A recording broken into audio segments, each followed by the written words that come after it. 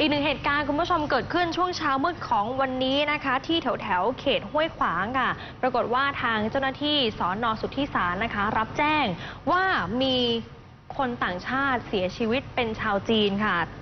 ซึ่งเรื่องนี้นะคะทางตำรวจก็ลงพื้นที่ไปตรวจสอบนะคะ จุดที่เกิดเหตุเนี่ยอยู่หน้าบริเวณร้านใช่ก๋วยเตี๋ยวปลาตรงเขตห้วยขวางพื้นที่กรุงเทพมหานครนะคะ ปรากฏว่าเจอเป็นศพชาวจีนค่ะ ชื่อว่านายหลี่เจิ้งกังอายุ 61 ปี สภาพศพคือสวมเสื้อโปโลลายทางสีขาวเขียว แต่ว่าใส่แบบกลับด้านนะคะ กลับตะเข็บออกมา นอนหงายเสียชีวิตอยู่ข้างเสาไฟฟ้า ริมฟุตบาทหน้าปากซอย ตรงใบหน้าค่ะสังเกตดูก็จะมีรอยฟกช้ำ มีรอยฟกช้ำตามแขนขาทั้งสองข้างนะคะ แขนขาก็จะมีรอยถูกเชือกมัดด้วย พบกางเกงขายาว สีน้ำตาล วางกองอยู่ข้างร้านค่ะ เจ้าหน้าที่รวบรวมเก็บเอาไว้ในเป็นหลักฐาน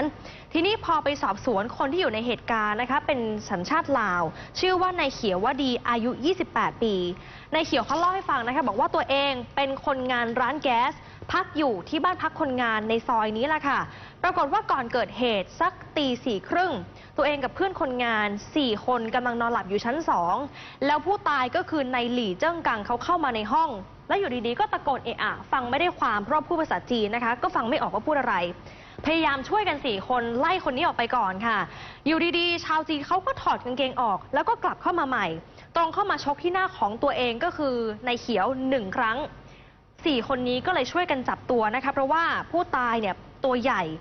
แต่ละคนช่วยกันจับมัดมือมัดเท้า แล้วก็ไปผูกไว้กับเสาไฟฟ้าที่อยู่หน้าปากซอยต้นที่เราเห็นกันอยู่เนี่ยนะคะ แล้วก็โทรศัพท์เรียกเจ้าหน้าที่มาตรวจสอบ แต่ปรากฏเจ้าหน้าที่มาถึงนายหลี่เจิ้งกังเขาเสียชีวิตซะแล้วค่ะ ทีนี้ทางตำรวจก็เลยต้องชี้แจงนะคะว่า หลังจากนี้ ต้องนำตัวคนงานสัญชาติลาวทั้ง 4 คนมาสอบสวนอย่างละเอียด แล้วก็ต้องไปตรวจสอบตามร่างกายด้วยนะคะ เพราะว่าพอดูร่างกายของผู้เสียชีวิตเนี่ยก็จะมีทั้งบาดแผลฟกช้ำ มีแขนขา หลังจากนี้ต้องนำศพส่งตรวจพิสูจน์ละค่ะ แล้วขณะเดียวกันก็ต้องประสานงานกับทางสมาคมชาวจีน ทางสถานทูตให้ตรวจสอบข้อมูลด้วยนะคะ ว่าผู้เสียชีวิตนี้พื้นเพเป็นคนที่ไหนแล้วก็พักอยู่ที่ไหนค่ะ